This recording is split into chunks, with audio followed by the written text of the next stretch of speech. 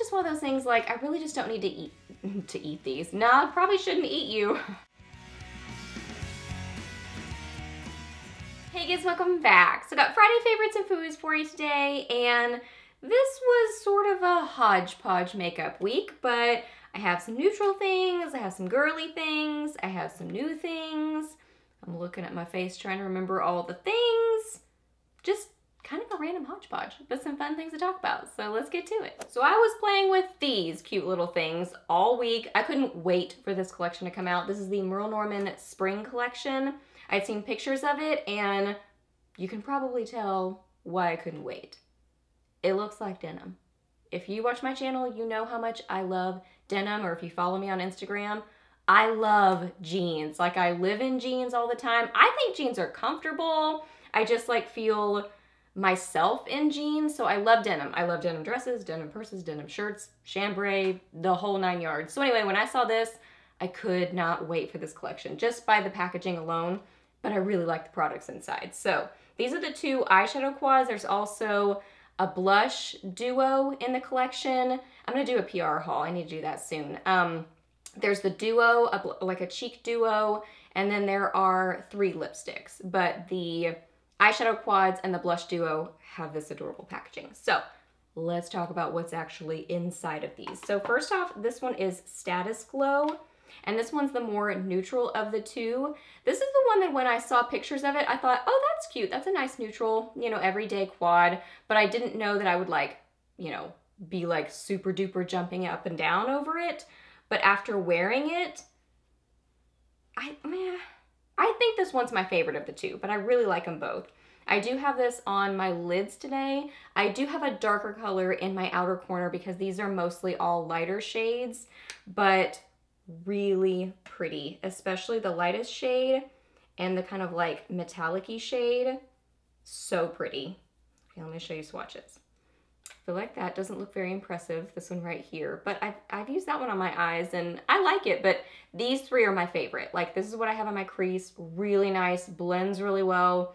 This one is gorgeous. That's what I have on my lids, and this is so bright and fun. I'm not wearing this one today, but I did wear this um, one day this week with this one. Just a little bit of that on my inner corner. Anyway, it's so pretty. I love it. It's a great neutral everyday palette. It's so nice. The other one is Blue Belle. This is the one that when I saw pictures of it, I was like, can't wait because that right there. That's what I have on my lower lash line over a liner. Really pretty. Now, one thing I did notice with this one is I had some fading with it. Now when I wore this one the other day just on my lower lash line, I didn't have any fading, but I wore it over a liner like I did today. So I think these might need a little bit of a base to help them hold. But with that um, liner, it didn't move at all, and it looked really pretty. Look how pretty that is. Oh my goodness. The day that I saw a little bit of fading was the pink one and the gray one. So I would say if you're gonna wear those colors, wear a base with them. But this blue is so cute. It like, it's just like a little, I don't know, springtime cornflower blue. And I feel like it goes with the denim packaging. It's just cute and fun. And I love the name of it. I love Blue Belle. That's adorable.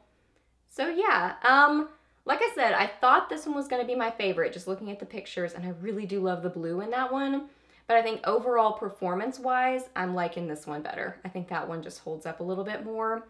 But they're both really cute. You just might have to use, you know, a base to help these out just with the longevity and lasting power. I got a few things from 100% Pure through Octoly this week to try out. Two of the things I really, really like.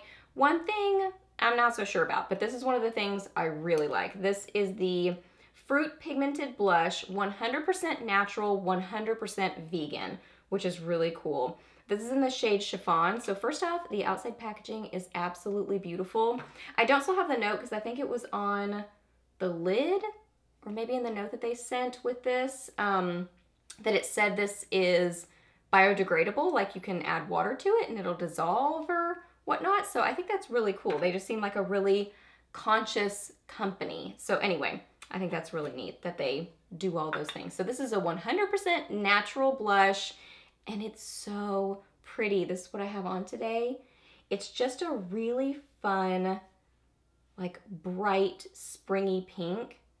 So pretty. I've tried some 100% pure stuff in the past, but it's been years. Like I can't even remember what all I tried back then. I think more of the like body and skincare stuff, but I was excited to get to try some of their makeup. So there it is there. Isn't that impressive? I think that's so impressive for an all natural blush. It's really pigmented. It blends really well. Like I don't notice any kind of a difference between this and something that's not natural as far as like performance and what it looks like. It just blended into the skin really nicely. It wore really well throughout the day. So I wore this almost every single day this week, kept grabbing for it just because it's really nice and just a really pretty, fun color. I think especially for spring. It's girly, it's springy, it has fun packaging, and 100% natural. So what more could you need? And a highlighter that I've really been enjoying recently, and I can't remember if I've actually like mentioned this to y'all or just been intending to. So if I have mentioned it to you, I apologize. I still really love it. This is the Essence Pure Nude Highlighter. So I'd heard several people talk about this. Now before I'd even heard anybody say anything about it, I'd seen it at Ulta and it just didn't like intrigue me. Like I didn't really have any interest in grabbing it, but after I heard so many positive reviews, I decided to give it a shot and oh my goodness, this is one of those products that's like totally understated, doesn't look that exciting, but when you get it, it's so pretty. This is what I have on my cheekbones today, on the inner corners of my eyes.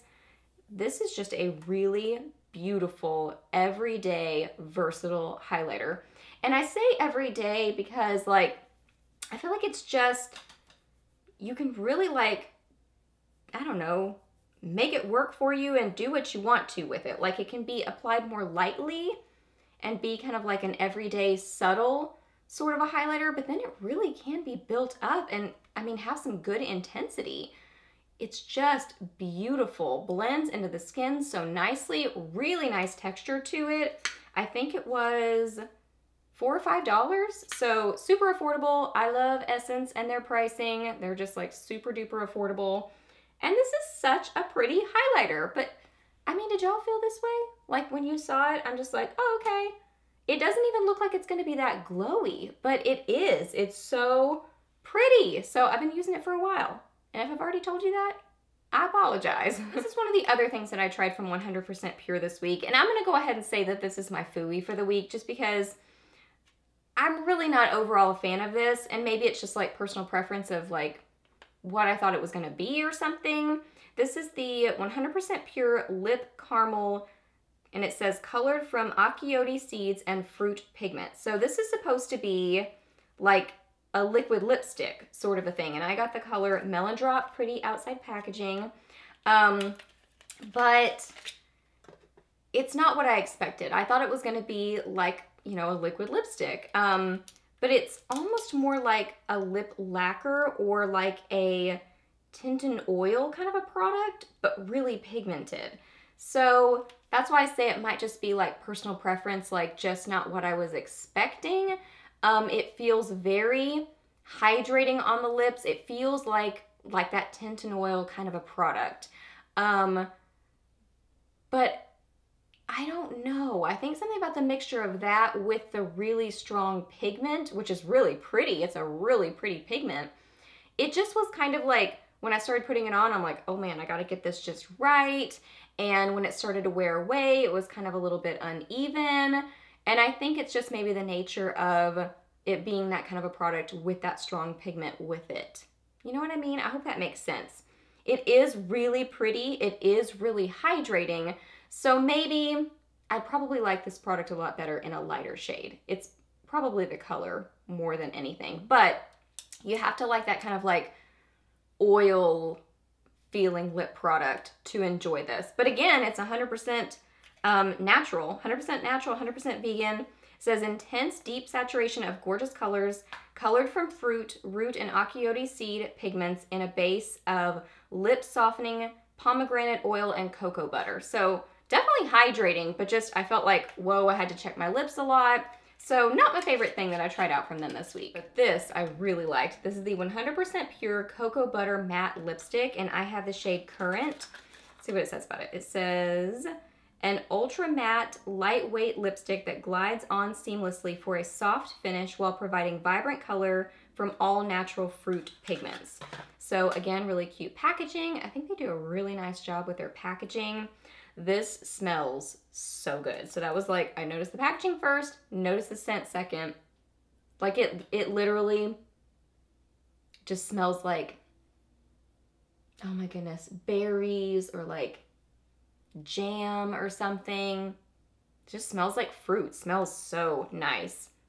So this is the shade that I have and this is really pretty. It's very pigmented, really comfortable. And I did notice like after I wore it for a little bit, it really set down into my lips and really stuck around. It's just a nice, comfortable satin matte sort of a lipstick. I wouldn't say that that's like ultra matte, which I don't mind that about it because sometimes ultra matte can be a little bit drying. I like a matte lipstick, so don't get me wrong. But I don't mind when it like kind of starts out sort of satin and then sets down a little bit more. I think that's almost like the ideal scenario where it ends up being really comfortable but still matte. So didn't move everywhere because of that matte sort of a finish. And it's just a beautiful, like, I don't know, deep pinky red sort of a color. Really gorgeous. So I'm impressed with that. So if you try to go more natural with your makeup, or even if you don't, you just want to try out a natural makeup line or just a new makeup line to you, I would say definitely check this out and definitely their blushes. Um, and you can make up your mind what you think about the liquid lipstick situation. Another thing that I wore this week that I really enjoyed is this Wet n Wild Mega Last Liquid Catsuit, and this is in the shade Missy and Fierce. So I saw Marnie from Miss Gold Girl talk about this specific shade, and I had to go get it because it's really pretty. It's just a beautiful classic red, and it's a statement lip. It's a retro sort of a lip. It's just a beautiful red. Now, the thing with these, and most every traditional kind of formula liquid lipstick is it does the they're not there line. It's just more obvious with the colors that aren't like a neutral sort of a color. Like Rebel Rose, I really don't notice the line as much. And honestly, I think it's really just when you eat. Like I think that's kind of when it jacks with how it wears because I wore this and then I went to lunch and it did the intense there not there line. Like I just had it left around the outside of my lips, which looked real bad. So I don't like that about these or really any traditional liquid lipstick. Um, but then I reapplied it after lunch and it wore really well. I wasn't eating for a long time, so I think I think it's just one of those things like I really just don't need to eat to eat these. I probably shouldn't eat you. but I shouldn't wear them like when I'm about to go eat. I should pick something else or just wait to put them on after I eat. So because I don't feel like it's this specific formula. I think it's really any traditional liquid lipstick. And if you like that sort of traditional liquid lipstick sort of a formula, these are a great option because they're $5 and they really are comparable with a lot of high-end ones. So they're really a nice formula. It's just one of those things like, that's just sort of the nature of them. So after lunch, after I, when I wasn't eating, I really enjoyed it. And especially the color, it's just a really pretty, fun, classic red. Yeah, I'm really having to scrub to get that off. So, I mean, as long as you're not eating, I think they really are good. Okay, on to the next thing. This is the Kat Von D Everlasting Liquid Lipstick, and this is in Lovesick. This is the shade that I'm wearing right now. Did I read Lovesick? Yes, Lovesick is the color. And it's just a beautiful, kind of like cool toned purpley pink. I love this one. I really like wearing this one with um, Mother, which is the shade that I mentioned last week. Together, they're like a beautiful ombre pinky lip. Really, really beautiful. That's a big old swatch right there.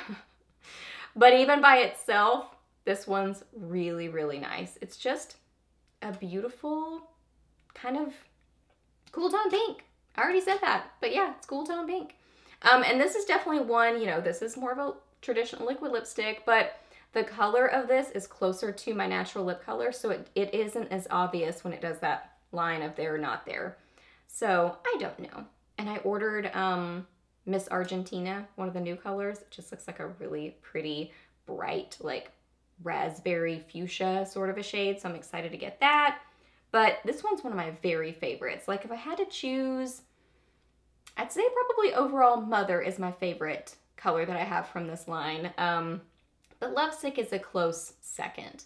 But really together, I'd say just get both because they're really pretty together, but they're really pretty separate. So anyway, check out last week's Friday favorites if you want to see what Mother looks like. But anyway, I wore Lovesick this week and loved it. All right, guys, so those are all my favorites for this week. So I hope that you really enjoyed this video. Please do a thumbs up if you did, and let me know down below what you were loving this week, or maybe not so much loving. Let me know your weekend plans or any questions that you have. I'm happy to answer those. Please subscribe to my channel if you're not already, and I'll see you in the next video. Bye.